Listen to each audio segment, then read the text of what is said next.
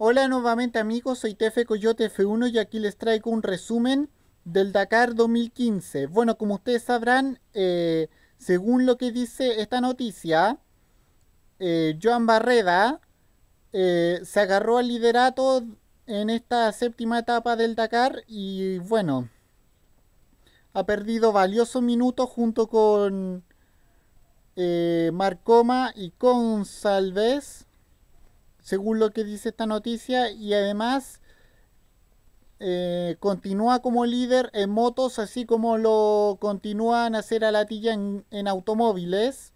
Y bueno, eh,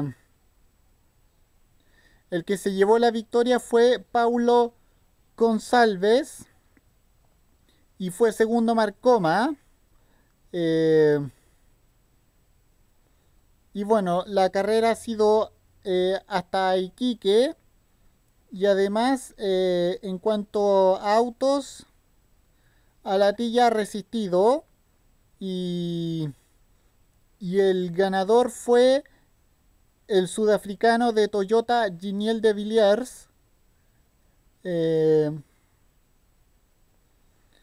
y bueno, además, en cuanto en camiones, el ganador fue el ruso de Kamaz, Eduard Nikolaev, y ganó sobre el piloto de Ibeco, Gerard de Roy.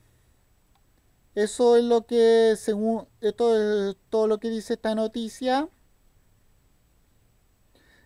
Y, y los compañeros de Nikolaev eh, que son eh, Airat Mardev y Andrei Kar Karjinov fueron los eh, fueron son sus compañeros y y están en esto en este momento Nikolaev está en el tercer puesto de la clasificación general.